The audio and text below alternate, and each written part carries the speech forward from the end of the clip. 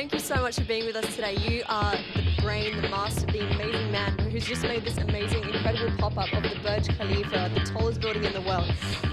I mean, please explain to us, how did you get into uh, sort of paper engineering for pop-up books? Um, it started when I was at art college in England, and uh, I wasn't very confident about my drawing. And I had this master plan that if I got things to move, you'd be distracted. You'd be looking at the movement and not actually noticing that it wasn't a wonderful drawing.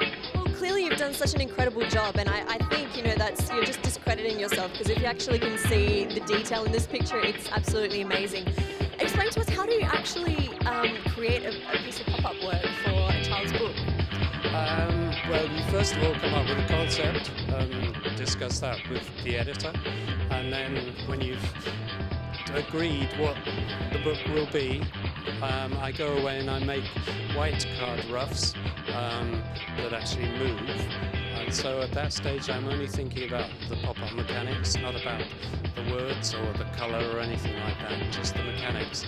Um, and then this is the second stage. The uh, this is from my forthcoming book, um, Pop-Up World of Animals. Um, and this is the stage where I start to think about the colour and the layout and um, where things go and whether things move, like the orangutan um, and a little snake. And then we've got a gorilla here that comes out and he's moving the anteater's head. The anteater's going down towards the ants down here. Um, and it's got a squirrel monkey here that comes up and down the tree, jumping. Um, yeah. Actually come up with these concepts?